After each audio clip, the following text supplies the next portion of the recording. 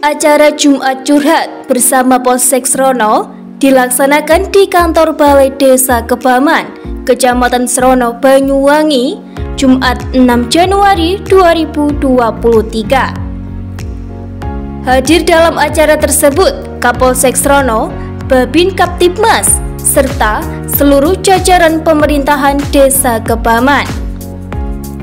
Di tengah-tengah acara berlangsung, Kapolsek Srono AKP Ahmad Junaidi mengingatkan kepada semua pihak untuk saling menjaga keamanan dan mengantisipasi pencurian di wilayah desa masing-masing di Kecamatan Srono.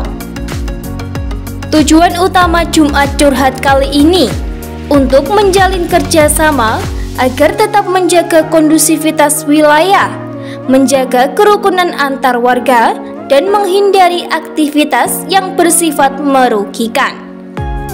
Jumat Curhat merupakan program yang digagas Polresta Banyuwangi guna semakin mendekatkan jarak antara kepolisian dan masyarakat dalam bersinergi menjaga Kaptipmas di masing-masing wilayah. Tim Liputan Banyuwangi Hits melaporkan.